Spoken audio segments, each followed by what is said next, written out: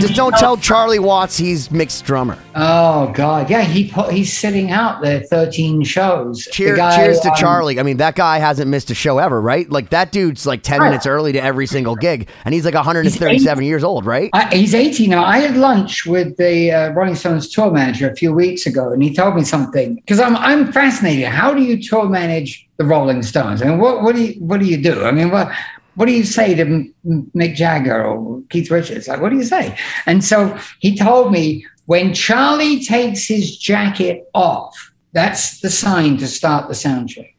When he takes the jacket off. And when he puts it back on, that's the end of sound check. That's how it works.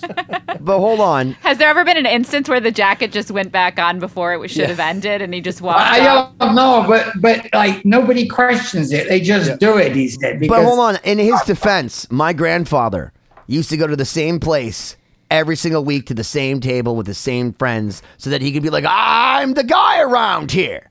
And I feel like if I was Charlie, I'm 80 years old, like I'm going to the same restaurant for 80 years, doing the same damn thing. I'd be like, "Don't you know I want my pancakes? Don't you know I like my butter on the side?" Like at this point, especially when it's like two thousand dollars a ticket. Well, I don't think Charlie was like that, but I did watch an interview where they were saying when it was the 50th anniversary, they said, Charlie, it's amazing. You've been in the band for 50 years. What was that like?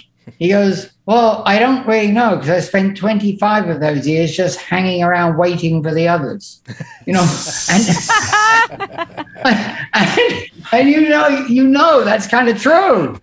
That's I mean, how do you hurry up? Why up? do you think Bill Wyman is such a great photographer? Because he was just waiting around for everybody. He's like, Yeah. I'm going to take up the Pick up a camera. hobby.